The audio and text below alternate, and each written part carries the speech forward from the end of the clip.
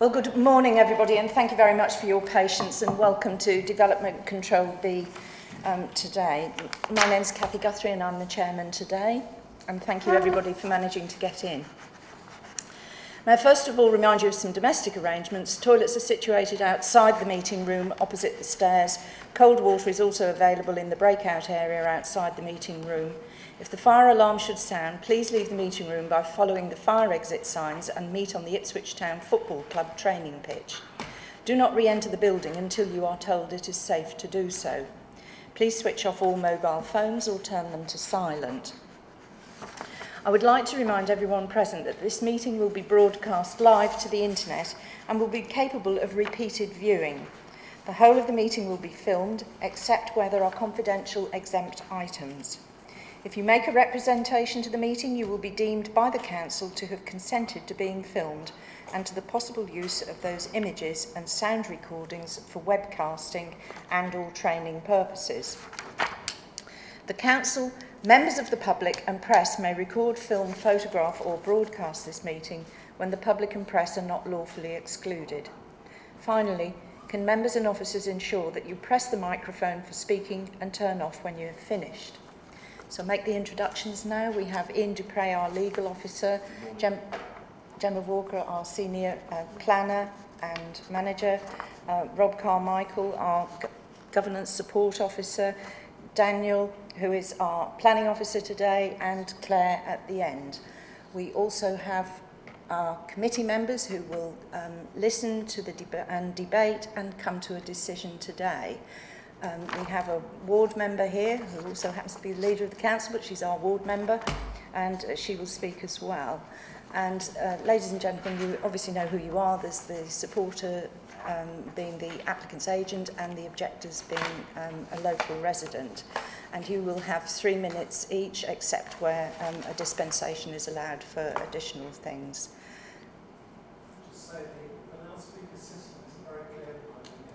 Is it not? Um, perhaps if I speak up, is that any better?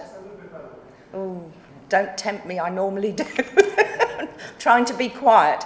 Uh, sorry about that. Well, um, would it be better if we ask them to move forward if it's... As, yeah, there's so few, I think if they... Yeah, do you want to come forward a little bit into the next row if it, if it makes it a bit clearer and stops it echoing a bit? Can we help? Yeah, well, maybe some others might be quieter as well. I'm not normally known for being quiet. Can you hear me, Councillor? Uh, you're all right, yeah. Oh. They'll be coming in here to speak. Exactly, so you might as well come. It just stops it echoing because they get the noise of the. Um,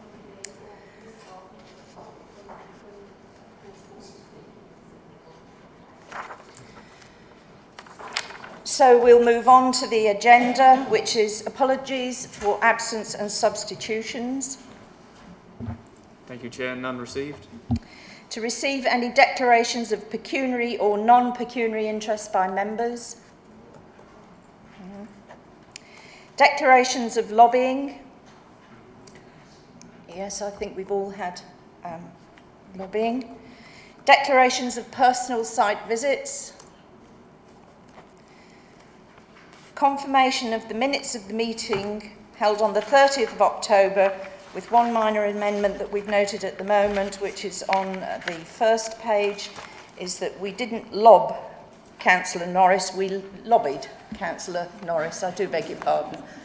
Um, so that has been corrected and then I will just ask, as Councillor Matheson is going to help us, in any of the rest of it, are there any further adjustments, please?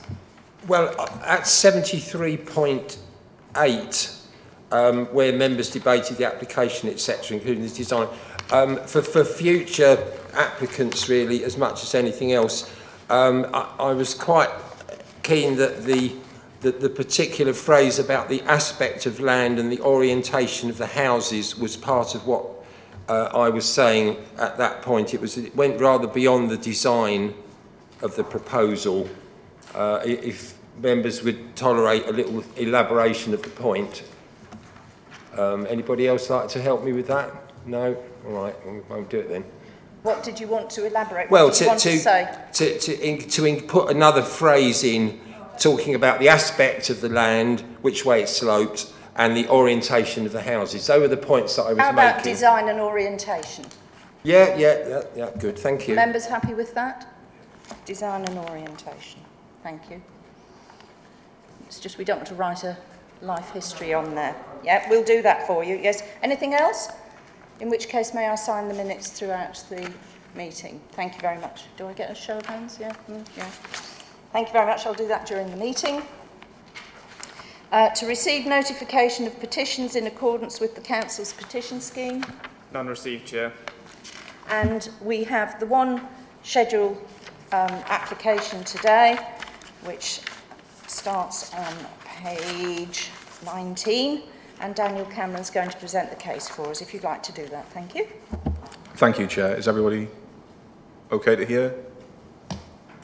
No? Yeah. Okay, so we previously considered this item back in October. Um, so I'll run through a quick update for members. We've got the original presentation if there are any questions pertaining to that, so we can go through those issues as well. Um, but I'll start by running through. So there, there are late representations from both the objector and the agent, which are available in the table papers. Um, and I'll run through some of the issues raised um, there as well. Um, if we go back over the reasons for the previous deferral, um, it was for details of turning and parking areas to be provided in, in greater detail for members. Um, it was to go over access and parking arrangements for disabled persons. Um, it was to look at the detail and location of passing places to be implemented along the access. And it was to give consideration to any possible alternative access available to the site. So if we come here, this was submitted by the agent. Um, if I, no, It's this one. it's this one. Thank you. Sorry. Um, so it's all a bit put onto one plan, but he shows an, a passing place here and a passing place here. He then shows the, the boundary with the neighbour's land here, which is possibly a little bit out based on the plans, but trying to overlay everything is probably quite difficult. Now, in coming forward, there's been a dispute raised by the neighbour regarding this area of land here. So we've had an updated blue line supplied by the agent. This indicates the land which the applicant has ownership over. If we go back, an element of that lower passing place, which is better seen here, falls outside the land on their ownership, so therefore they'd be unable to implement it here.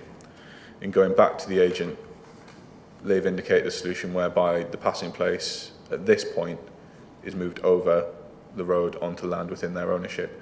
Now, originally when this came before members, previously we had condition for details of passing places to come back to us by discharge of condition. We've considered it necessary to just reimpose that at this point so that the detail supplied where in their ownership is sufficient, but we'll just make sure of that.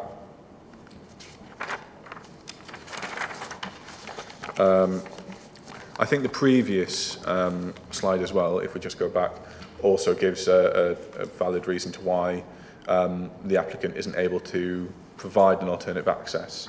I think previously highways had, had, had talked about an access coming along here. There's an existing farm track and making connection to the road here. They simply don't own this stretch of land necessary to, to implement that access. So we haven't got any alternative access arrangements for you today, members. In terms of the previous plan we saw, there was a section highlighted. I've blown that text up there for our, for our benefit because it's a little small to read. But effectively, this comes from um, Building Control Approved Document B, Section 5, um, and the adopt is the adopted um, building regs document for our fire and uh, rescue service. So it talks at point 6.7 about requirement for a 3.7 metre carriageway curb to curb for operating space at the scene of a fire. Um, to reach a fire, the access route could be reduced to 2.75 metres over short distances. In looking into the building regulations document, no definition for short distances is given, um, but that pinch point is acceptable provided the pump appliance can get to within 45 metres of the dwelling. Um, Mr Lee in his representation notes that this 2.75 metre pinch point requires agreement from the Fire and Rescue Service, which would still be required were they to go in. But obviously this requirement is not part of planning members, it's governed by building control and therefore is outside of, of our remit at this particular point. Um, in terms of um, Mr Lee's representation, I just wanted to bring um, two images that he supplied for us um, into perspective here. This is an image of Mr Lee's access. Um, Mr Lee's access is approximately 8 metres long and is 2.8 metres wide. The white lines on either side are painted 2.8 metres apart from each other. Um, Mr Lee, in his representation, proposes the erection of fencing 2.8 metres wide so as to restrict this element of the access. And if we go to the next image, we see it with the fence panels in place. Now, looking at the image provided, it's my opinion that Mr Lee will likely require planning permission given the height of the panels either side of the highway. Um, the GDPO talks about a highway as being um, something over which vehicles normally pass and given that we have um, agricultural right of access and, and, and other rights of access over this, it's likely that, that at that height he would require planning permission in and of itself for, for that. Um, in, in terms of this, um, Mr Lee contends that this 2.8 metre fence line would restrict access by vehicles probably over about 2.5 metres to get along the access. We'll come to the access in more detail, but effectively from this point there's another 280 metres for vehicles to, to cross up. Um, if we come on to some plans supplied by the agent, what they've done is, I think there was comment um, at the previous meeting about red line sites um, and the appearance that doors on, on external buildings appear to open into the countryside. Um, they've just left the red line site as it is, but provided closer um, um, a, a closer perspective of, of those lines so we can see that we aren't um, creating dwellings that just open out into the countryside. And that's also provided some more um, information over the amount of parking and the turning areas provided for each. Um, so if we look at bonds one and two, we've then got bond three, we've then got bond five, Now, the other issue that was noted from the, the deferral is um, access for, for disabled persons. Um, so building regulations, part M, category one is required for all new dwellings. It requires reasonable provision for the access from the point of alighting a car and it requires the entrance and sanitary provision to be located on the same floor. Um, there are further adaptable and accessible standards that are available, but they must be secured by planning condition. Um, so we need to go through the relevant tests for imposing those. Um, if we look at the floor plans for the barns, um, barn 1 it's the ground floor. We have an entrance way here, entrance way here, and entranceway here. The two at either end are both close to the bathroom, all on one floor. And again, there's level access through here and through here. If we look at barn two, we've got access points either side here. And we also have an access point here. We've got bathroom at this point and the bathroom at this point with level access throughout. If we go to barn three, it's much smaller. We've got an access and then the ground floor toilet here. Um, barn five is the only one that doesn't meet these tests. So we have um, the access and then we've got the bathroom provided on the mezzanine above, so it would not be step free.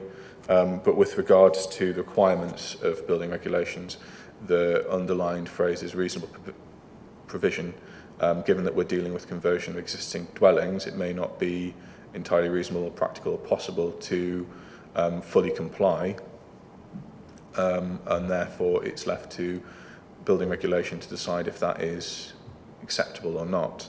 Um, but in looking at the, the, the, the scope of the application on all four barns, three quarters would comply with that requirement and I think looking, looking at barn five it's simply an issue of of the, the floor space being inadequate to, to provide that for them. Um, if we go through Mr Lee's late representations, um, I think we've got a few issues that he highlights. So it's the lack of access for fire tenders owing to the restriction. Oh, sorry, I've gone the wrong way. Owing to the restriction of the access, um, and it's the passing place outside the site boundary. So if we look at the passing place issue, the agent has said that they're happy to deliver that via condition, and we'd require a condition at any point to um, to require that. And then we have the issue of the access and the restriction over Mr Lee's land. Um, with regards to um, the existing rights of access, those are obviously dealt with largely outside of planning, a, normally a civil matter for resolution. Um, but in terms of the width, we've got 2.8 metres, which would be slightly above the 2.75 required by um, approved building control document B. And if we look at the widths of fire tenders in relation to agricultural vehicles that at the moment take access over the land, they're a similar size. In fact, some agricultural vehicles will probably be slightly larger in order to gain access there.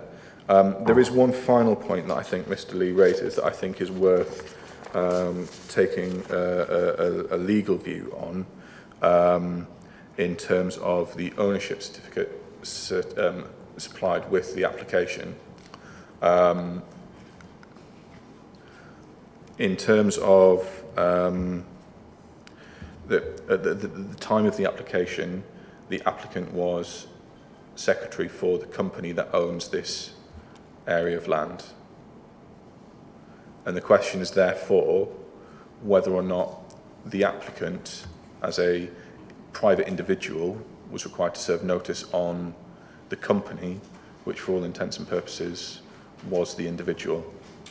Um, Thank you, Madam. Thank you, Daniel. Madam Chairman, um, the, it's very important that the um, land ownership and certificate requirements of the law are. um, excuse, I'm sorry if I'm, if I'm losing my voice, I've got a cold, do excuse me. Um, the um, law requires that, well, let's take this in stages. You don't need to own land in order to make a planning application. However, you must serve the correct certificate, you or your agent must serve the correct certificate. In this case, it was certificate A, which says I own the land. That you could have alternative certificate B. I don't own the land, but I've told everybody who does that I'm making this planning application. Or there's others, C and D, which are, I don't know who the heck owns the land, I've done my best to find out. Um, now, in this case, I, if, if I've got this correctly, and Daniel will correct me, the, the landowner is, a, is and was a company, right? Um, there's nothing wrong, therefore, there is nothing wrong with Mr. Leonard, is, a human being um, being the applicant, because as I've said, you don't need to own the land in order to make the application. However, in an ideal world, Mr. Leonard should have served notice on the company, though that would at that time have involved serving notice on himself as company secretary of the company. It's quite right to say that a company um, and the person who effectively is the company in real life through ownership of the shares and management is the company. They're, they are separate legal persons. That's something everyone learns in their first week of a law degree. However, um, my understanding is that the company have communicated with the council. I think the letter said something along the lines of that Mr. Um, Leonard was effectively acting as their agent. And it's awfully nice of them to say that. In a way, it's, it's solving the wrong problem because there was nothing wrong with him making the application. But I think I, I, I, I am interpreting that letter to say, in effect, that they, they regard themselves as having been um, duly notified and are not make, taking a point upon this. I mean, I would say, Madam Chair, you recall I've always been very strict on this issue in this committee. My, about a year ago, we had a matter in Rickinghall where um, I think I made myself very unpopular with an applicant by advising you to postpone something because there were three landowners rather than one, and he was protesting they were his business associates and knew all about it. And I said, well, that matters maybe, but we can't go ahead today. Um, the point is, I mean, sometimes when a, if, if somebody challenges a permission in the High Court, the High Court has discretion, and they can say, well, there's no real harm done we're, we're not going to undo, undo this permission. We, we, unlike the High Court, don't have discretion. However, my advice is that in all of these circumstances, that the law has now been complied with in the light of what the company, which is the landowner, is and was the landowner has said. But I'll be happy to answer any questions if any member has any more concerns about that. Um, I think there was one other issue in Mr Lee's representation that I think bears a little bit extra um, going over, and that was reference to the Hibbitt test. Um, now, there is a great example of a building that fails the Hibbitt test within this site, um, and I will just get it for you members, so you've got the images before you, but that is barn number four. Um, that is the barn located here. Um, now, the Hibbitt test itself um, applies to Class Q barn conversions. So these are conversions of agricultural buildings made under permitted development, but there's an application to us for prior approval. Um, and we sort of look at certain details like um, highways issues, flooding issues, um, things like that. But effectively, um, national government presents planning permission and the prior approval is like a, a discharge of conditions in effect. Um, what the Hibbitt test talks about is, with reference to Class Q, what a qualifying agricultural building is. And in terms of Class Q, it is it, it, it, the Hibbitt test talks about the, the structural integrity of that building and what works are reasonably necessary for habitation and what works um, are not. And in, in effect, something like this structure here, this Dutch barn open on all sides but with a roof, would fail the Hibbitt test because in order to turn this into a dwelling, you'd effectively have to build complete new walls here on the outside. If we look back through the application um, and we look at another barn, we've got barn number three here, you have walls and a roof. Okay, we have this large opening here, but it's probably considered reasonably necessary to enclose that for human habitation, and so would not fail the test. Um, similarly with uh, barns two, it's not a great image. I think the image of barn number one might be more useful for your members. Um, again, we have walls and a roof. On internally within the structure, it might be relevant to um, insulate those external walls. It might be necessary to take some repair works to those external walls. But what the Hibbitt test talks about is where you would be completely constructing a, a, an external wall or, or, or roof that is unacceptable and the building therefore fails to be considered for class Q barn conversion under those those circumstances.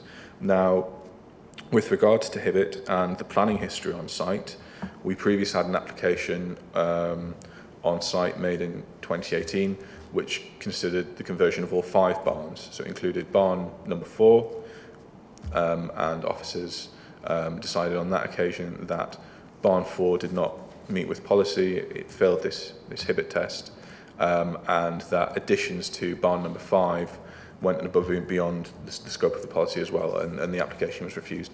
We then had a, a subsequent reapplication. Barn 4 was removed, um, but the works of Barn 5 remained, and we felt it was still contrary to policy and issued a refusal on that basis.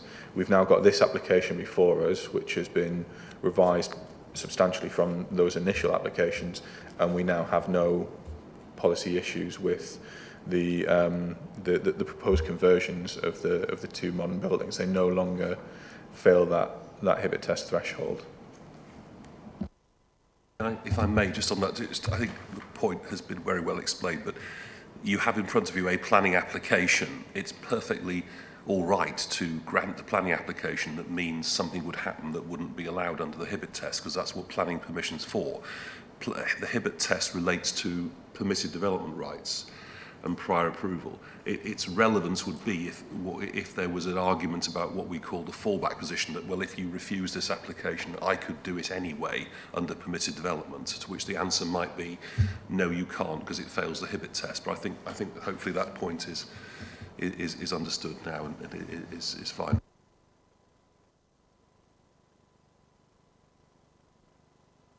Yeah, um, so if we whiz through the, um, the remainder of the, the presentation. So we've gone through the reasons for, for deferral members. Um, we've gone over the parking and turning areas. We've gone over the, the provision for, for access. So we have the site location plan. This is unchanged. We've got the constraints overlay here for you members. We've got two uh, grade 2 listed barns within the application site. That's barn number 1 and barn number 2. There's also the grade 2 listed farmhouse just outside of the application site and the sort of orange overlay uh, represents the fact that we've got a triple SI um, impact zone. Um, that's Mickfield Meadow. Consultation with Natural England with regards to the triple SI impact zone has revealed no objection to the application. Um, here we've got the aerial map, and I think this map is worth paying some attention to, and it shows the road access. So we have the road access within the site, within you know, this occupation. We've got the access here um, in front of Mr. Lee's property, and then we've got the remainder of the access here to the, the highway here, sorry. But just a minute, Councillor, can we just finish the presentation, then we can come back to it, please? We're not into questions just yet. Yeah, sorry, thank you. Um, we've got the, the wider map here. We can see clearly that it's a rural setting. We've got that set out in the report for you with regards to its connectivity to neighbouring dwellings and, and, and settlements. Uh, we've got the site layout. And then um, I'll whiz through this because we've gone through it already, but we've got barn number one and the proposed um, elevations. Um, there's the other side for you members. The 3D site plan. Um, barn number one contains some um, existing agricultural machinery, which is to be retained within this void here and in situ. Um, in terms of barn number two, smaller barn.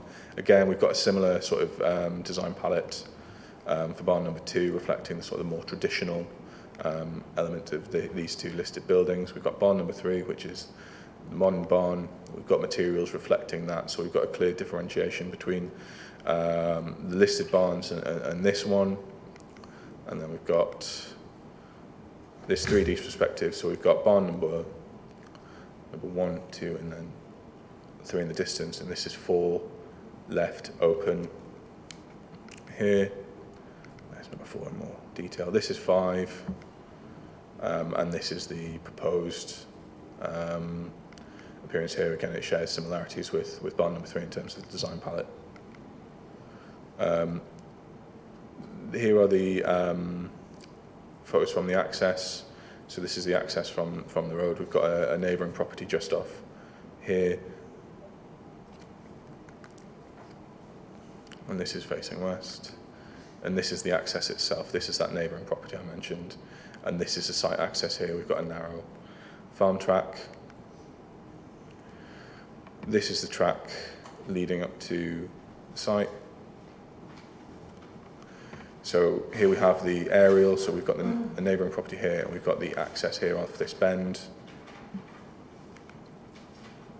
Then turns the corner and comes up. Here's Mr. Lee's property here, and then this is the access within the applicant's ownership. Leading up here, I think that is me at the end. I'll, I'll if, if we have questions relating to the, the, the previous um, presentation, I'll, I'll take those from, from committee because I, members will remember what they remember, they won't remember what they don't remember, and, and I'll try and provide a, an update or, or, or refresher at that point. Right, yes. we'll have questions. Um, Councillor Matthissen, you had a question and we'll go yeah, back that was slide, I, slide 19. Um, I, I just wanted to understand what was the public highway and what was the private road. Um, I saw that mentioned in the in the report text, but I, I didn't quite get my head around how it worked in practice, and that was the slide that would give us the chance. Yeah, that one. Sorry, thank you. So this is the access up to the farmhouse. This is in private ownership. We've got the access here in front of the neighbouring property, that's in private ownership. Um, there is a public highway at this point, and then there is an element of this track here, which is also a public highway, and then at some point the track reverts to private ownership. Mm. Yes, Councillor Warboys. Yes, thank you. Um, could you There have been, one of the questions we raised at the last time we looked at this was about the um, access, I think it's barn two in particular, which was very tight within the red line. Could you just go through the actual changes that have happened to that to make it a better setting, if you like, for a listed building?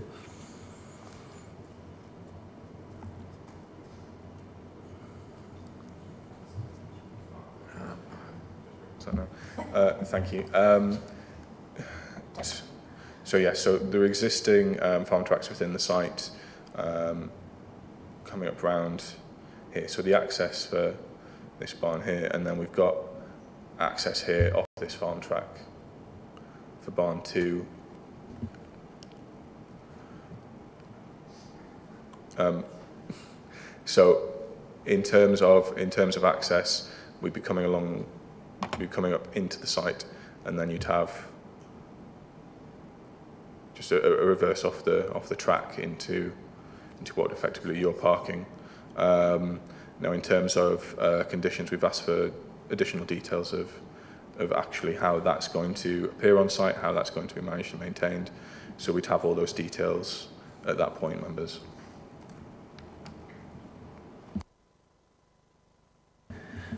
Has around, I, I believe that's uh, barn two on the right. And has the red line around the barn actually been moved further away from the barn? No, the red line is in the same place as it was in the original.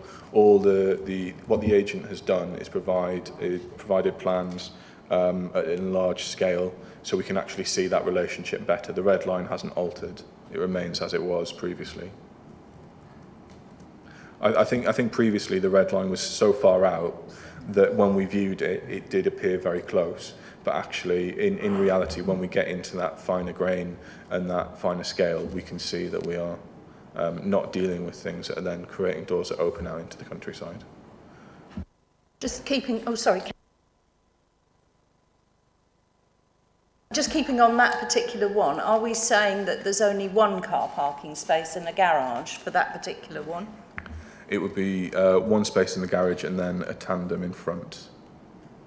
Right, thank you. And then while I'm at it, um, can I just say um, there's two things. You said there was machinery being kept in a barn. What's that? Yeah, so barn one um, was a threshing barn.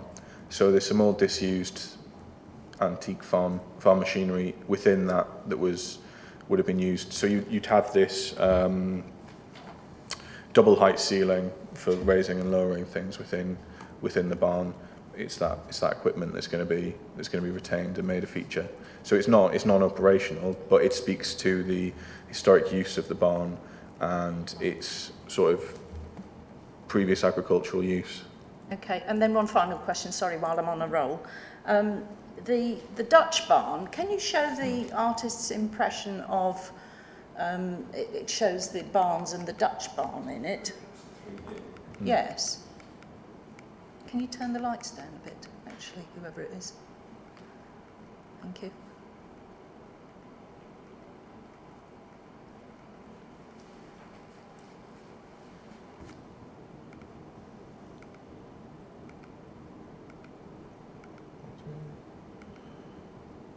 Sorry, I couldn't. Ah, that one, right. Um, so that Dutch barn is outside the red line, will it get incorporated for use? Or what's its intention? What's, it, it's in this nice picture. That's a question. Mm. Yeah, no, we, we, we don't have any any right. detail. I mean, it right. could be we'll it could be retained, but. Sorry, I jumped ahead of uh, Councillor Norris. You had your hand up, I think, didn't you? I beg your pardon. Um, could you go back to slide eight, which was that plan you had, where you show the garage with a car parked in front of it.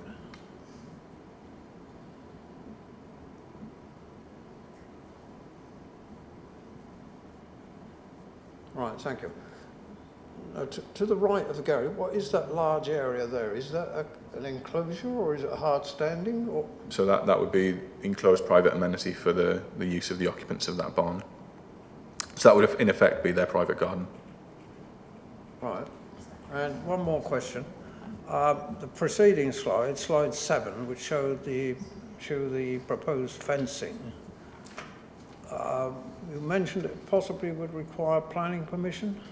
Do you have any indication of the actual height of it? Um, yeah, I think I think from the from the representation, it, it seems to be two meters high. I think that for the purposes of the the general permitted development order, um, anything adjacent to highway um, for means of enclosure can only be a metre high. Um, if you're over a metre, you will require planning permission. Right. Yeah. Um, so if, if, if this was the intention of, of the neighbour, my advice would be to seek planning permission before erecting. Oh, that's significantly more than a metre, certainly, mm. yeah. Yeah, sure, okay. We don't know the purpose or whatever for the fencing. No. Okay, thank you. We can cover that one in debate when we go forward, Councillor. Councillor Humphreys, please. Madam Chair, thank you. Um, it's just a question going back to the access. Um, who actually owns, so get in my head, who actually owns that track? And also, what are the current access rights to use of that track by all properties? So, let's jump back to this plan because it's a bit closer. Um, so, this section of the, the track is within the ownership of the applicant. Um, there's a section of track here which is in highways ownership. Um, there's a section of this track here that's owned by a, a third party. Um, there is a section of track here that is owned by Mr. Lee. So at the moment, this site is farmed actively um, and there is right of access presumably for the residential use of the farmhouse um, at the end of the track also uh, residential right of access for Mr. Lee's property here and probably for agricultural vehicles to access the land as well. Thank you. Um, so lots of probablys in there. So on the legal side of life, how does the access rights for that farm that currently is in place go forward to any development. Well, obviously, as, as we've said often in this room, the land ownership and um, planning permission are two separate things. On the other hand, the practicalities arising from land ownership may be a material consideration to whether you have to think about when you decide whether or not it's right to grant permission. Um, Councillor Morley, if it's a question, if not, can you save it till Thank you, Chair. Can we go to the picture of Mr Lee's uh, driveway, the, the picture that Mr Lee supplied with his um, drive, and the next one. So, am I right in thinking that that is Mr Lee's private bit? That's, that is not public highway, is it? And it's not in the ownership of the applicant? That is Mr Lee's? So we, we can get confirmation of that um, from the applicant. So um, it's my understanding from Mr Lee that he owns this stretch of, of road. Um, I don't think this stretch of road is public highway. I think it's privately owned. But I think that the um, provisions of the, the GDPO don't make um, don't make a differentiation between what is public highway and what is private highway. It just talks about highway. Um, and I think that um, for the purposes of potentially needing planning permission, I think that would that, that, would, that would bite at that point. Um, because I think that the, the GDPR would recognise that um, where you had um, you know, privately maintained road, you would still want for, for vehicular safety the same sort of visibility displays that you might on a, on a publicly adopted road. So can I just ask, the, the fencing, um, you say he would need planning permission for if it was higher than a metre, but am I right in thinking it doesn't really matter whether it's one metre or two metres? You still wouldn't get a fire engine round that corner, would you? Because that is the minimum width. And a fire engine, if it was going straight, yes, I can see that that would work. But going round that bend, you wouldn't get a four metre length fire engine if that was, even if it was only a metre high. So, um, the, the, the, the one metre, two metre differentiation is purely whether or not Mr Lee might need planning permission for what he wants. Um, in terms of, of gaining access, um, we have the comments of the Fire and, and Rescue Service. Um, they've been provided with details of the um, of the updated um, scheme, and we have their comments um, before members in the bundle. Um, now, I take the point, I think it might be difficult to, to have visibility beyond if the height of that fence is two metres. I think it might be difficult to then um, also manoeuvre. It's not a, it's not a tight bend. Um, if we go back to the, the blue line, there is a bend, um, but then that is um, you know, we could grant the planning permission at this point if the applicant wasn't able to implement the access. That would be something at their own risk. If we came to um, signing off for for for building control um, to say that it was a, an approved access and they couldn't demonstrate that, that again would be be at their own risk. There might be things that they can are showing here that they then cannot um, implement um, in reality, and, and that is part of the risk of, of, um, of undertaking development, um, that they might then not be able to implement the permission as granted and would need to seek to either readdress that or come back with a, with a fresh application.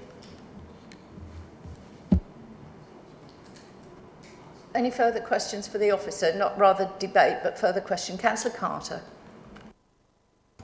Um, just regards um, the access as well, uh, could I just confirm the distance between where the car parks and where the access is uh, to the, um, and the main access points? Um, also, I did wonder, wonder uh, regards the machinery uh, that's going to be turned into a feature, Uh, who is going to maintain maintenance of that machinery? Does that impact on the uh, does that make any impact on the floor, uh, uh, uh the passage to uh, to entrance points? Um, is that like is it possible for that to cause any hazards in the future that we might need to be have, have um, so in, ter in terms of the the access, um, within um, approved document part M, there are requirements for um, level access from a lighting a vehicle at its closest point to the entrance point, and that's all detailed within the building regs documents um, as approved. Um, with regards to the machinery, um, this is sort of this is non-functional. It is it is in there at the moment, but has not been used um, for a long time and wouldn't restrict um, it's, it's not located in a, in, a, in a place that would restrict um, someone from being able to access the property or from being able to, to deal with it. And, and I think with regards to ongoing maintenance, um, that would be a case of whoever then, subject to the works being completed, um, whoever then chose to purchase that property and live there, the ongoing maintenance would be would be for them. It would be the same if you know we we as individuals buy a house and we notice that there's a chimney that we later find out is, is, is tilting or, or, or something like that, it would be um, the private individual responsible for the maintenance. Thank you. Councillor Matthissen. Thank you. Yeah, just going back to the previous answer from the officer there, um, uh, the, all about the, the implementation as opposed to the permission, um, are you saying that the, uh, the, the implementation would have to satisfy both building regs and the fire service. Yeah, so approved document B talks about um, a number of things that would need to be satisfied um, in terms of building regulations. So we'd need to be content that whoever was um, certifying the building was content with it. That be, could be our own building regulation service. That could be an approved inspector um, following deregulation. Um, with regards to um, provisions of document B, those are normally also run past the, the, the fire and rescue um, service as well, given that it does relate solely to issues of accessibility in fire and, and things like that. Right, thank you very much indeed. Um, we don't have anyone from the parish council, but we do have uh, Mr Barry Lee, the objector, and you may have uh, four minutes uh, for the medical reasons. Thank you.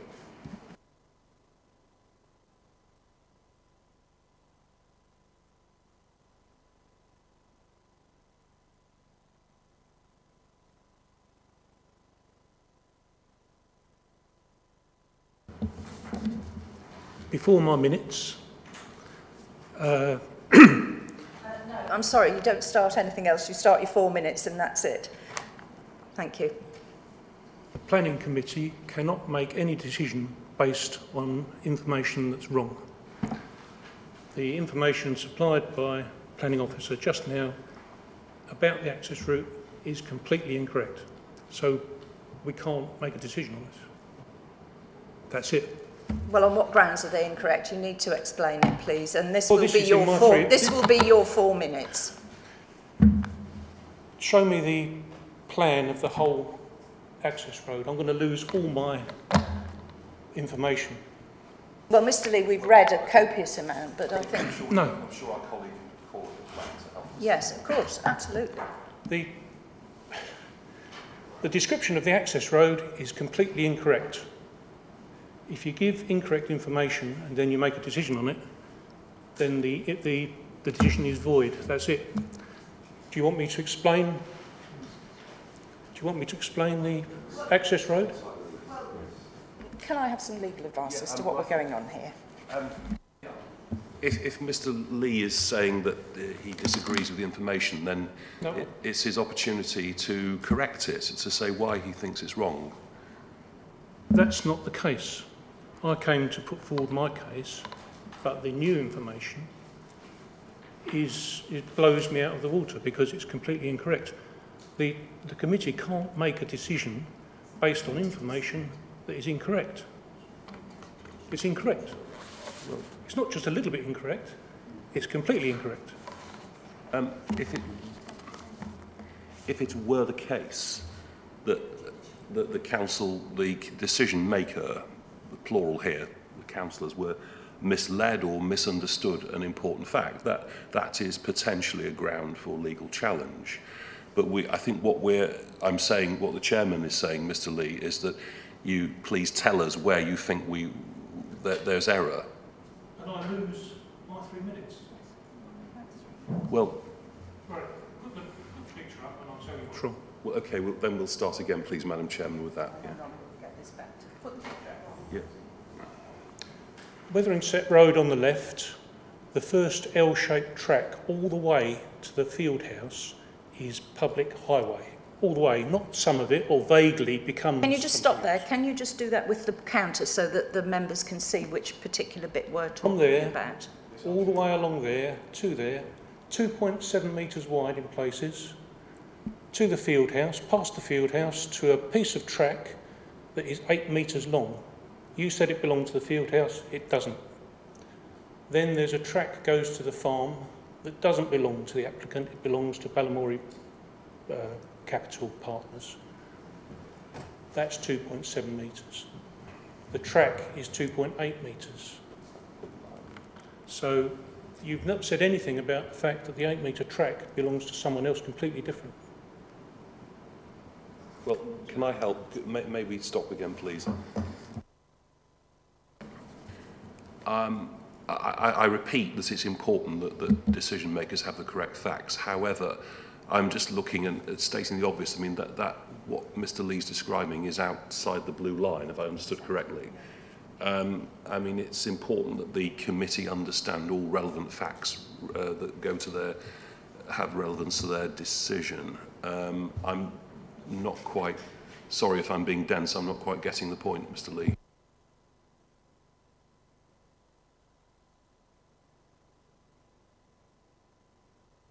ownerships, and the, he's not saying that the, the highway goes all the way up to the 8-metre section. He's not saying that the 8-metre section belongs to someone else. He's saying it belongs to me. It doesn't. So it's wrong. The, the presentation is incorrect.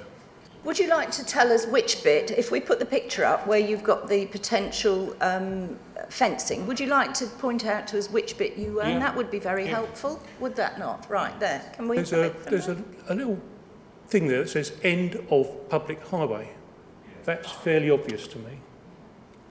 The bit in front of it isn't vaguely belonging to someone. That's the end of the public highway. That's why I've put my posts at the end of the public highway. The track beyond that belongs to another landowner and we've got rights over that track. The track is 2.8 metres wide. I can make the fences a metre high or whatever avoids planning applications, but you won't get a fire tender through there ever. Hang on a minute. We're, we're just trying to decide and get the clarity on the, um, the ownership of the land.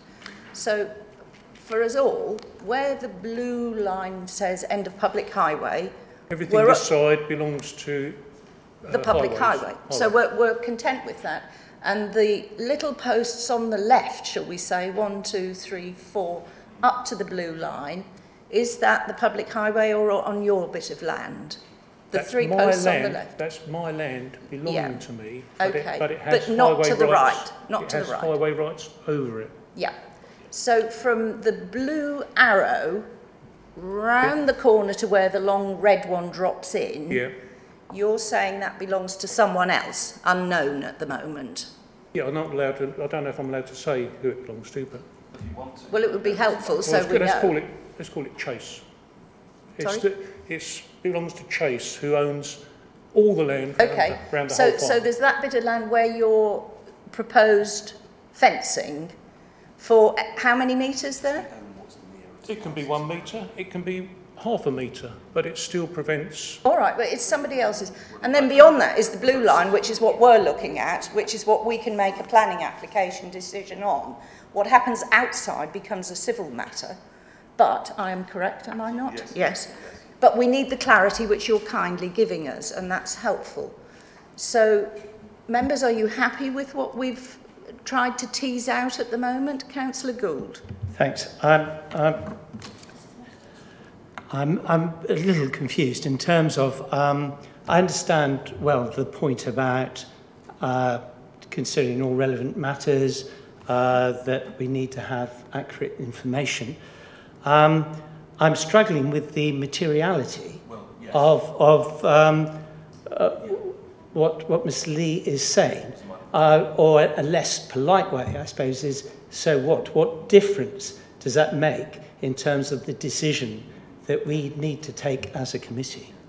If I wasn't here, you would make a decision based on information that's incorrect, and that's not allowed.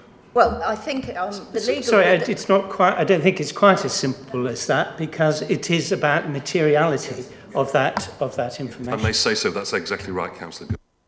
And can I um, just ask legal, and we'll ask it in the open forum, is that if Mr Lee is unhappy with any part of the process, he has the right for legal objection, a judicial review, dependent on whatever the decision is of the committee. We are looking at the blue line and we can make a decision one way or the other on what we have before us within that blue line. Um, quite right, Madam Chairman. Thank you. So if we may continue then, if you'd like to continue, and you will have your, we're still holding Sorry. and you've got the sorry, extra time. Sorry for my uh, strong. Yeah. Um, on the first plan, the, the new plan that was supplied, we've talked about the 2.7 metre, 2.75 metre access that the fire brigade require over a short distance. The next sentence says, provided the pump can get within 45 million metres of the dwelling entrance. The dwelling entrance is 280 metres away, so that, that's gone. That, that's the very next sentence. That 2.75 metres doesn't exist. I've got to skip through some other things in order to get to the important bits. If we were minded to increase the width of, uh, on our, onto our land, the fire brigade actually want 3.7 metres over the whole of that track. That's the, the public highway, our, our um, 8 metres belonging to Chase, and the 280 metres down to the farm. The fire brigade want that to be 3.7 metres. I'm asking, how would the planning department or the council ensure that the rest of the 738 metre access is also 3.7 metres wide, curb to curb, because that's what the fire brigade require. I've spoken to fire brigade on this, and it's they, they will want the whole track to be 3.7 metres wide. How are the planning committee, the, the council, going to ensure that happens? Um, I don't agree with the uh, Hibbitt uh, suggestion because planning application two was refused because the barn, forget barn five, barn three has never been, um, uh, hadn't changed at all. Yet that failed the Hibbitt threshold last time. It should fail the Hibbitt threshold this time. Um, barn three, you said it's got walls. It hasn't got walls. It's just got cladding on it. It's got post foundations. It's got a dirt floor the whole barn would disappear. It's not a conversion of agricultural building, it is a new build. Uh, as a new build, um, there's a statement 4.6 that, that lumps everything together, uh, all, all four barns. So uh, that 4.6 is incorrect. The the application for the ancient barns has got to be separate to the application for the barns that are modern. They don't pass the Hibbitt threshold, they're modern. They're new builds, in which case all the sustainability issues that section 4.6 tries to, to extinguish are, uh, are void the sustainability issue, issues must come in, so the three modern barns must be a separate application. Uh, barn 5, for instance, has never had a structural survey. It's only bolted down on a couple of bolts on each leg. It's got a mezzanine floor. You can't put a mezzanine floor in a, in a category Q uh, hibbit. It just fails. It fails. Um,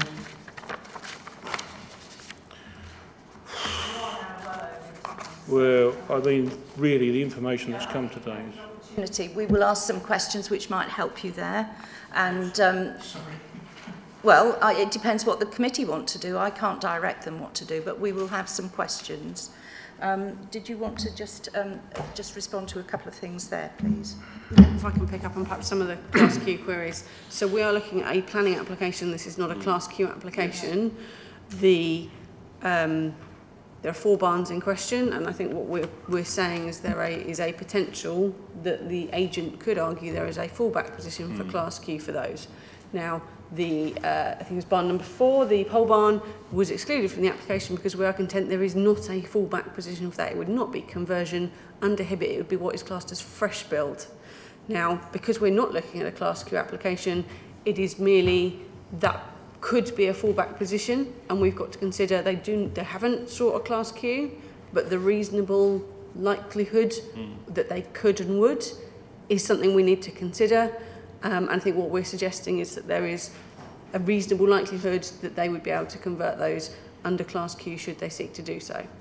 As I said, they have not actually got that class Q in place, but we have to bear in mind that that could be a fallback position in due course for development of this site. So that's where we sit with this. There is no issue with um, a planning application as regard needing to separate the different barns out. We have planning policies that support barn conversions, whether that is listed, not listed, or, or anything in between, if you will. So we are looking at this as conversion of four barns under our local plan policy. So hopefully that provides a bit more clarity on the Class Q situation. Um, and perhaps, Chair. Thank you very much. That's helpful. Now, Councillor Humphreys, this is questions for you now. Councillor Chair, thank you. Um, just two questions, really. The first one is, have you put in planning permission for fencing as of yet? I don't need to apply because I can reduce the fencing to a situation where it doesn't need planning permission, but it still restricts the access. That's great, and that's debatable because if it's only one metre, I don't need to bring in my wing mirrors, but we'll get onto that in debate in a minute, it's whether we can get through or not. And uh, just a point of correction, really. You said the fire brigade need 3.7 metres. Actually, it's clear and it's been, it's been evidence today that they'd accept 2.7 metres over a short distance. And that's, that's, that's the fact, is it not? No. Uh, is that not fact? So that is what they would accept if it comes back to them and they find that acceptable. I think um, the point that Mr Lee is making is that the, the 2.75, the next sentence within the um, adopted document B says that they will accept that travel through the pinch point provided they can then get to within 45 metres of a dwelling. That's, that 45 metres of a dwelling is standard for all fire tenders, for all buildings, wherever it is. I think Mr Lee's point is that in constructing the fencing, it would frustrate the access of their fire tender to within 45 metres. So they would be unable to move beyond the point of the fencing and they would still be 280 metres from the dwellings themselves. Is that, yeah. So, slightly confused, and I, I'm sorry it's not a question, but it's trying to answer this question so, so get clear in my mind. The fire service will accept 2.75 metres over a short distance due to a pinch point. Fact. Which will then, uh, as long as it allows them to get within 45 metres of dwelling, well surely once they're through the pinch point, 2.75 metres, they've got 272 metres to get to the dwelling. So therefore it does pass that test. Yeah, no, that's, that's my interpretation as well. I was just trying to Would you mind? So I think where we're coming to on this also is, is I think we're all clear that the, the two metres would be looking to require planning permission given where we're at mm. with the mm. highway. At a metre, as you mentioned, you haven't got to fold in your wing mirrors. It's got less constraints. So if Mr Lee were to choose to do that, it wouldn't have the same impact as a two metre high, which would require planning permission. So there is a slight separation between the two points. To, That's exactly the point, yeah. yeah.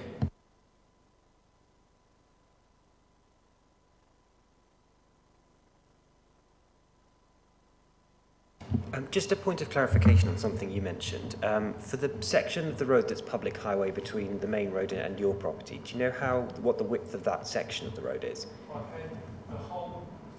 I've had the whole section of the road measured accurately using um, GPS satellite systems, and I know exactly every point along the road. Its minimum is 2.5 metres. That's over a metre less than fire brigade require. uh, the average is 2.7 metres throughout the 450 metre length. But the whole road is too narrow for the fire brigade's requirements.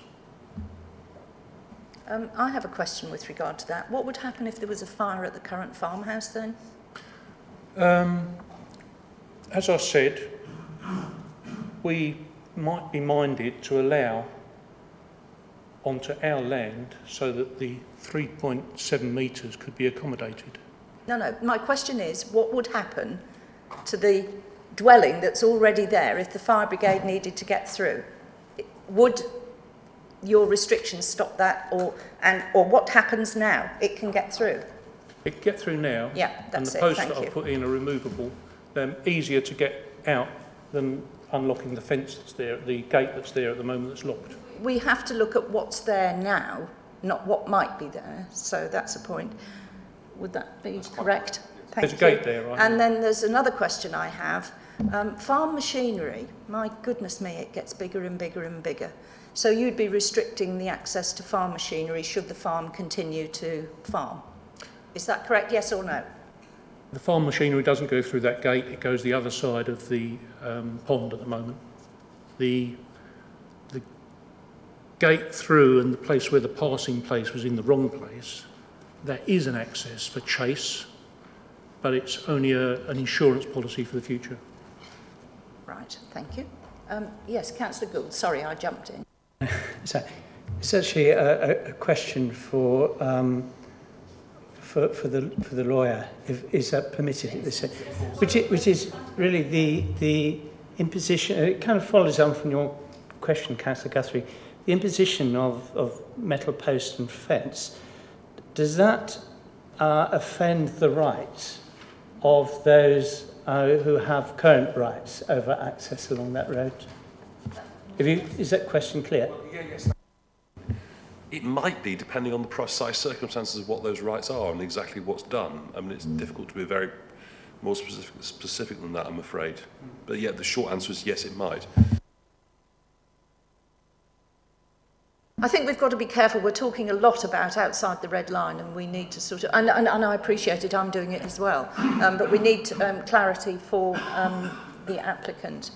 Um, so, um, thank you. Has everybody had the questioning sufficiently? Thank you. If you'd like to return to your seat, please. Thank you very much indeed. Yes, well, uh, I think we've had sufficient time now. Thank you. So we um, to um, Mr James Tanner, if you would, for the um, applicant. Thank you.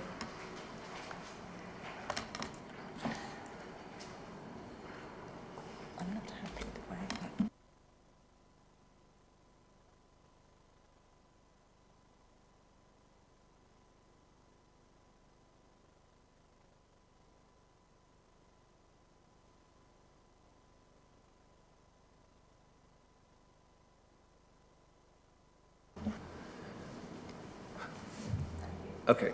Uh, good morning, Madam Chairman and fellow councillors. Firstly, I apologise for my slight tardiness this morning and delaying proceedings.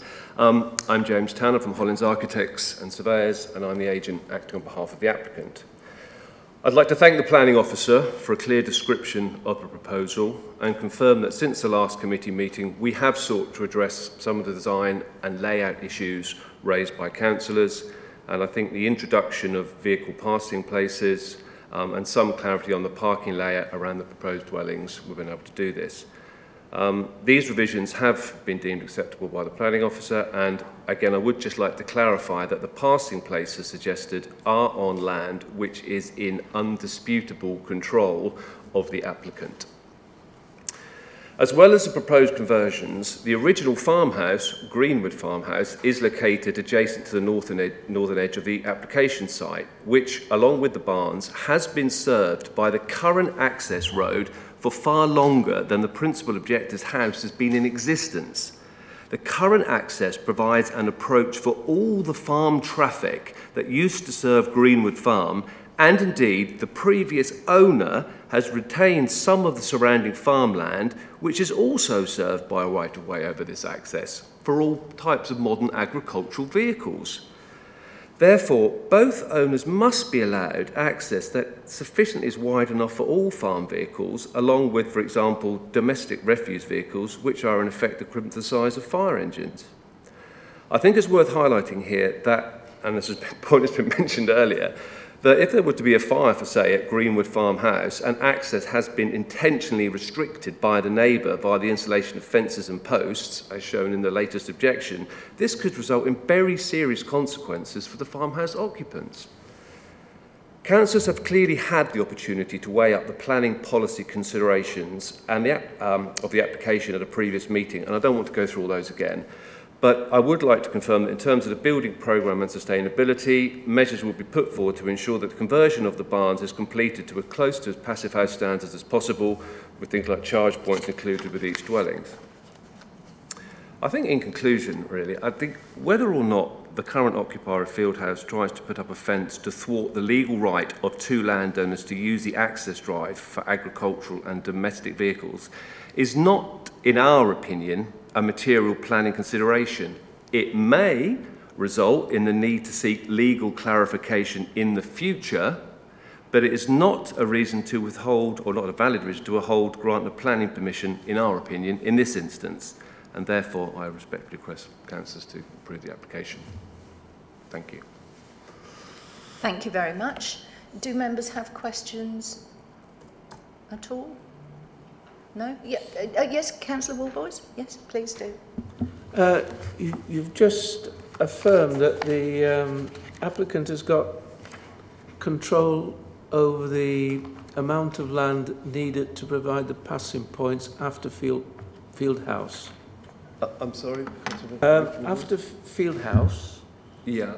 Uh, there's proposed to be passing points on the access track to Greenwood Farm. Yes and you've just affirmed that the applicant has control over the land where he can put those access points? The passing points, yes, the passing indeed. points, yes. Yes, indeed, councillor. Yes. Does he own that land, or yes, he, he owns actual yes. the land?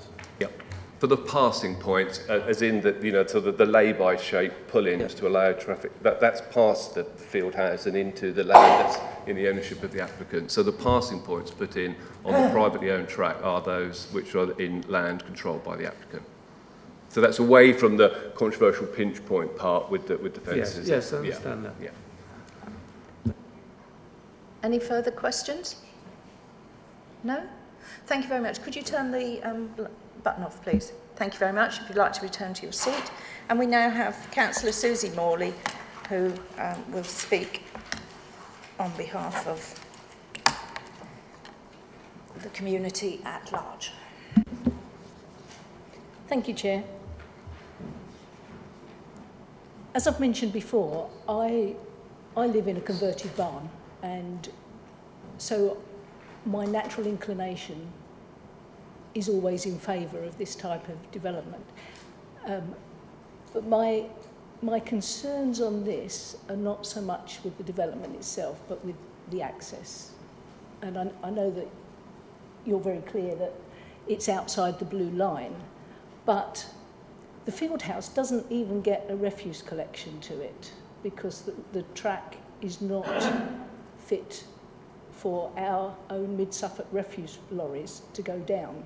And instead, the, um, the bins have to be walked 450 metres right all the way down to Wetheringsett Road. Now, if our refuse lorries can't get to the field house, then they're not going to get to this new development either.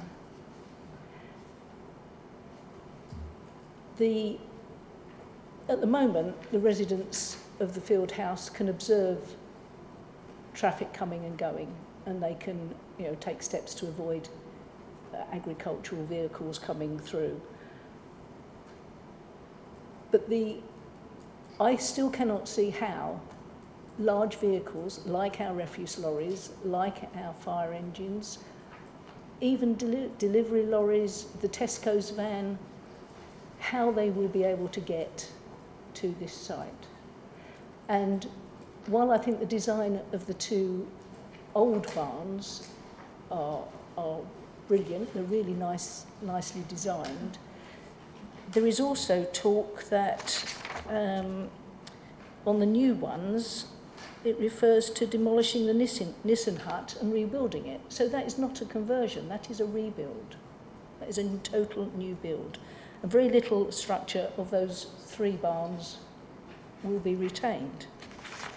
So um, I, do, I still do not see how, if this application is approved, it can ever be delivered because the access cannot be, cannot be guaranteed.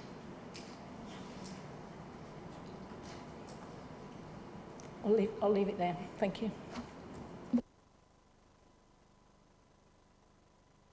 One moment, uh, Councillor. Yeah, I think that picks up on the, the kind of the class Q versus planning application query that yes, although they are essentially rebuilding the Nissen hut, that's something for members to consider whether you think that is acceptable. If we were considering under class Q, you get into substantial rebuild, you get into fresh build, that then does cause you problems with Hibbitt. But because we're looking at a planning application, not a class Q, that would be for members to decide whether they think that would be unacceptable or um, in breach of any of our policies rather than mm. a problem in itself. And Councillor, I have a question. Um, you um, advised about the refuse from um, Mr Lee's house. What happens to the refuse from the farmhouse? Do you know? I don't know. I assume that they have to do the same. Right. Um, okay. Thank you. Mr Lee may be able to answer that.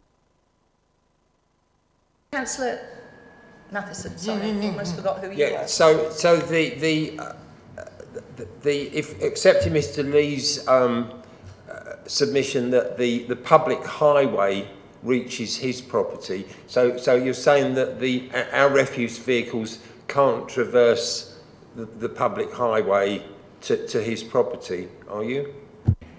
Yes, that's true because um, they they would have to reverse up and they can't reverse that distance yeah. along that round that right angle bend. So Because if, they go up there, then they can't get back out again, other than reversing all the way. Sorry, blindly onto the main highway. Councillor Humphreys. Madam Chair, thank you. And um, it's a question really, sort of partly, you've almost answered it. Is it not correct that the reason they won't drive up to there is there are no turning points? But the truth is that if this plan goes ahead and the, and the uh, passing points and the larger area at the end of the field, there would be adequate turning points and it might benefit everybody with the refuse collection. Is it not also true that in rural areas such as this, it is common to take your bin down the track two or 300 metres and leave it by the side of the road because the problem is if people don't in rural communities and part of the reason it's, it's requested is that it would delay refuse collections across the county. So therefore, if we went up every track, we'd never get is anything this a collected. Question, then? yeah, is it, so is it not true that it's not just because of the size of the track?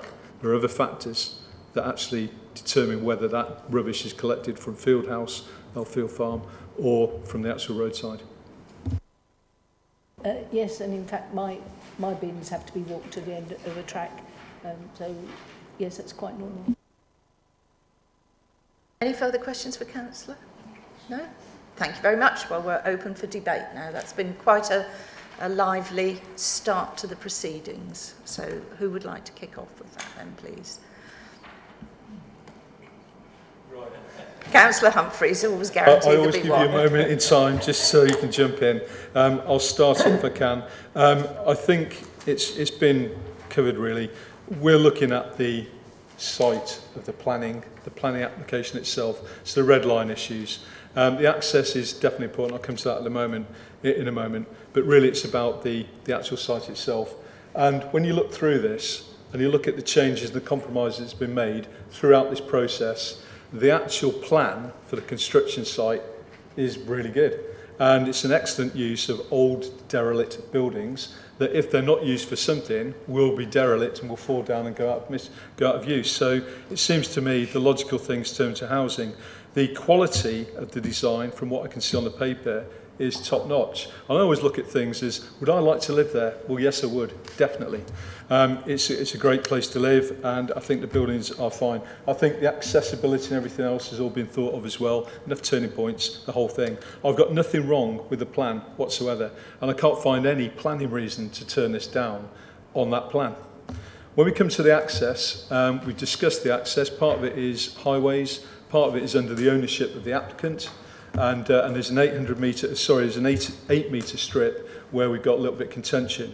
Um, my concern with this is, and I'm sorry, Mr. Lee, I do, I honestly do feel for you, but to put up a fence, to me, is wrong. And it's wrong for a number of reasons. It's wrong because um, the current applicant, uh, the current uh, resident in the farm, is then put at risk Well, that's unacceptable, I think, in my world. Totally unacceptable. Because you're saying that if you put the fence up, fire engines won't be able to get through. So therefore, if you put that fence up, you're actually denying him a right of rescue. And, and there's no debate on this. This is my point.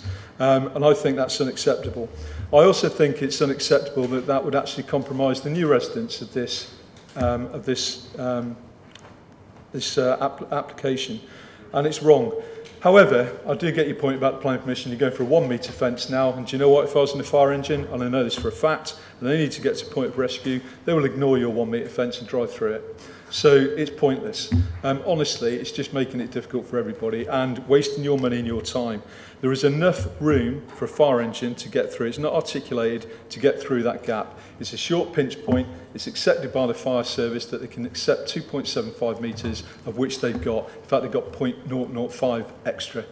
Um, so I don't see the issue with this at all.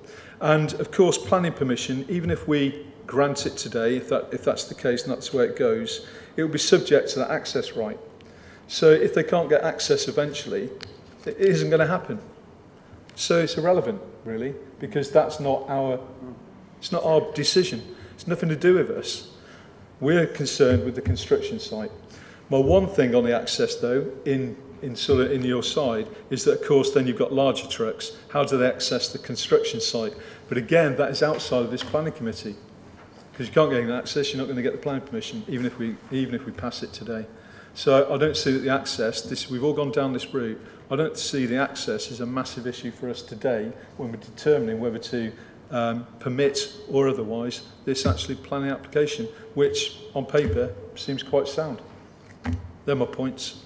I hope it's balanced. Over to you, John. Uh, no, actually, it's me.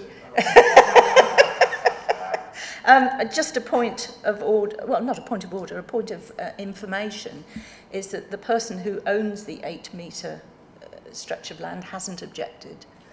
Um, so I just thought I'd throw that one into the mix for members um, to consider. Uh, so um, was it John, were you next up? Yes, yeah, thank you. Thank you. Yeah, I mean, I, I, I agree, agree with a great deal of that. I think the, the in, in, you know, in common sense terms, um, the, the public would look at this and say, well, yeah, it's, it's not it's not quality development because it's it's got these problems with it. But as we've winkled out over over the hour, uh, it, the, the planning issues uh, on which it might be refused are, are very narrow. But what I what I was just searching for, and I have just just found it now, um, is on page 51 is, is actually the detail of the highways um, submission, uh, which is actually re reproduced on page 22. I was just trying to see whether there was more detail, and there isn't really. And that is that there's an ambiguity that they're saying that, that there is a need for passing places, and um, the, the, they haven't actually said whether they're talking about the public highway section of the access, or they're talking about the, the, uh, the, the, the, the applicant's ownership land um, as, as to where, where these might be needed.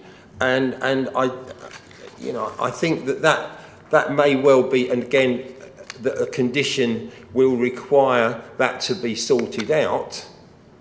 But I, I just, I just do look at that, that very particular point um, quite quite. Uh, Can I give you some carefully. help on that one, councillor? I think we've got some advice. Yeah. Um, so obviously they can only do works within the applicant's own land, so that would be what highways would normally be looking to seek. If they were looking to do works on highways land to enable this, they would be seeking a Section 278 agreement, and there's no reference to that for the public highway aspect of this.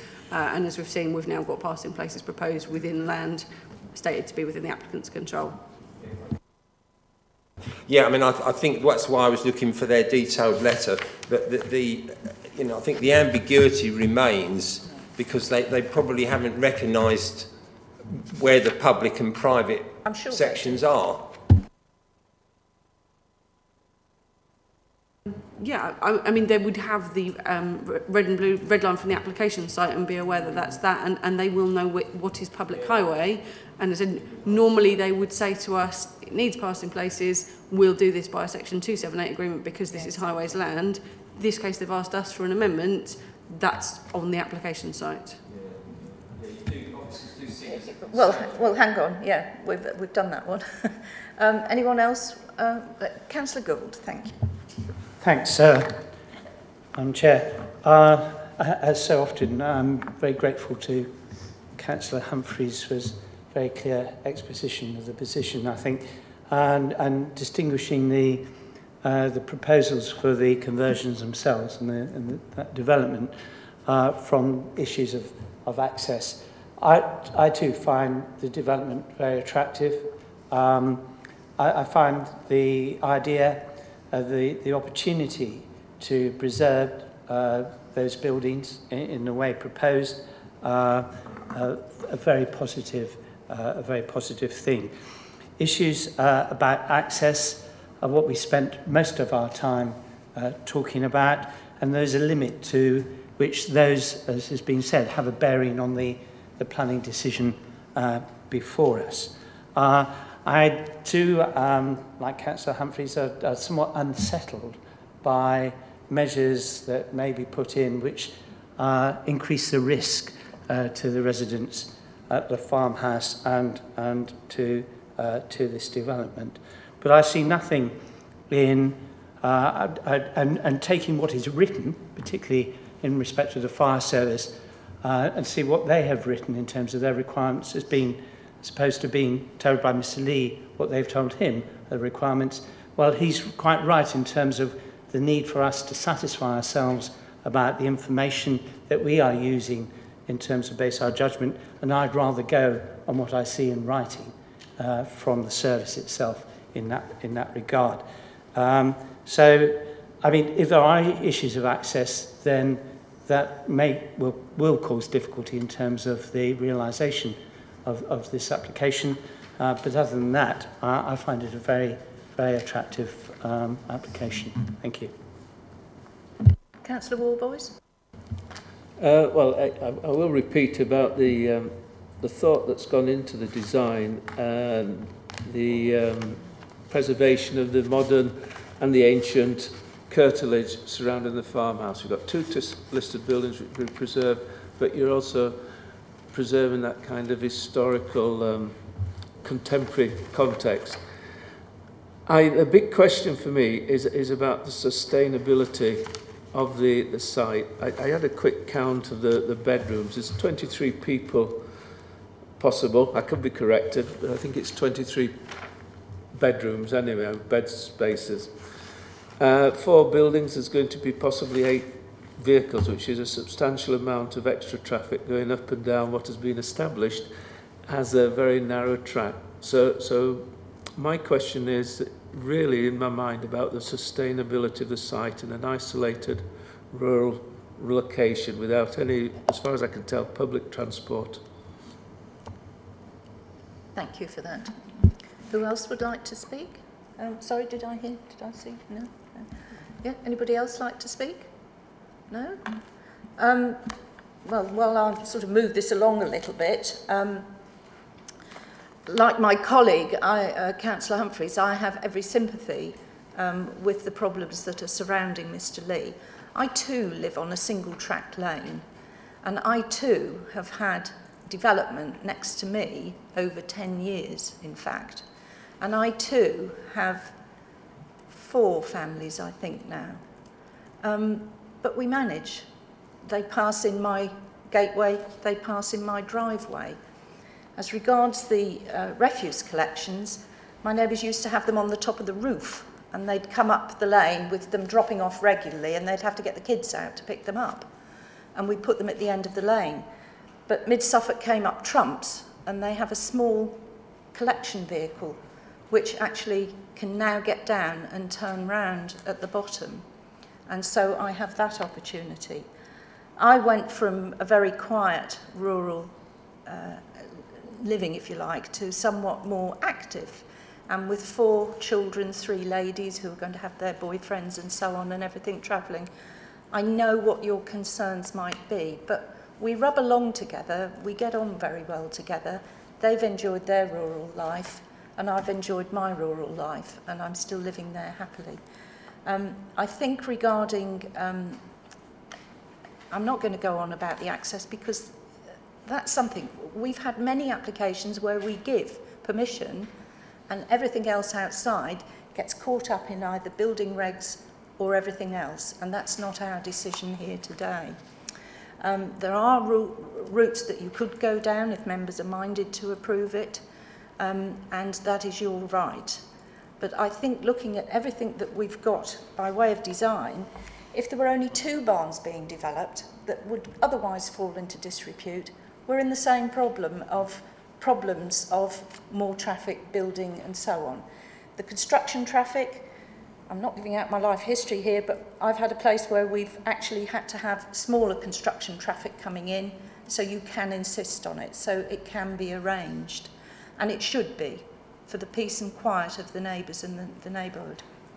So I'm uh, in favour of, of this, but I am not happy that we have a very unhappy neighbour and I would hope that um, things can be alleviated, shall we say. So I would be in favour of this application.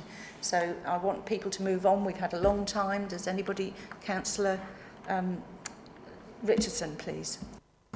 Um, thank you, Chair. And I think um, I will touch briefly upon two points. One, I think, is just to reiterate um, many of the points that have already been made, been made about the design um, about the layout. I think there's I was going to say there's nothing objectionable and no grounds for refusal on that basis, but actually I would go further and say that um, I very much welcome um, the design, uh, very much welcome this style of development where it does improve, not only I think does it deliver high quality houses, but also preserves what are significant heritage assets. Um, and I've, I've, I've seen that in my, across my ward and it's been done very well and has produced really high quality housing in, in good and appropriate places. I think there are still concerns um, about access.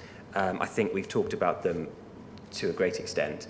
Um, I think it's not an ideal situation, um, but I think, as has already been said, if the fire service need to get somewhere, they will. I mean, the reason I asked about the section of the public highway, I was interested to find that it was a, at a minimum 2.5 metres. Well, then, if they've got issues at the moment getting to the field house and the farmhouse, then I don't see why, under those circumstances, we could then say, well, listen, they, now that we've got an additional four homes, it's going to be impossible for them to do so. Um, so whilst I recognise those reservations around access, um, I do think they can be properly managed and mitigated through building regulations and conditions. Um, and so in the interest of moving this on, I would like to propose that we accept the officer's recommendation um, and approve this application. Thank you, Councillor. Who else would like to speak? Councillor Matthissen? Yeah, as I said, I, I, it, this, this isn't quality development given, given the difficulties that it has. Um, but but you really we, we wouldn't realistically refuse it on the basis that it was, didn't meet MPPF's general observation that it, it, you know we should approve of equality. Um, it is a very unsustainable location. Um, the, the, the conversion of the modern buildings um, really, uh, without class Q behind behind this, as, as Gemma has effectively described it now, um, you know, I, I wouldn't be voting for, for approval, but as it is, th there are not reasons to refuse, so I, I will second the um, approval. Thank you, Councillor Matthissen. Does anyone else wish to speak, or can we go to a vote on what we've heard now? Shall we go to the vote then? I have a proposer and a seconder. Are there any further Um, have we checked the conditions? Oh, let's just check that out. Um, was there, uh, oh, I think um, there's something in here. Um, um, there's something about bats, but I wonder whether we can put some owl boxes up. I don't know whether it's specified in there. I know that. But I don't know whether the proposer and seconder need anything. Where is it? What page is it on? I think, um, so I think all the conditions are on page 36 of the report, members.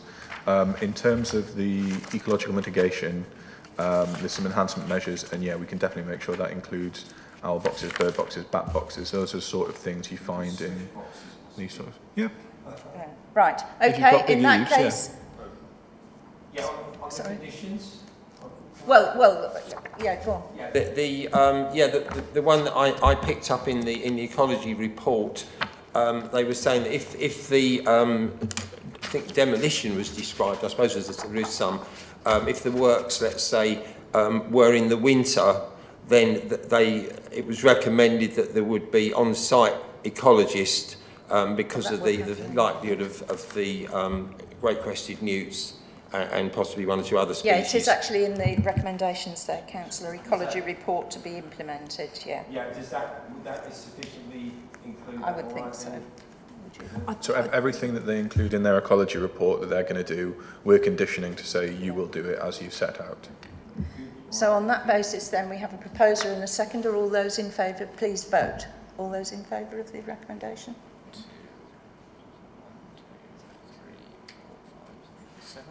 And those against? One.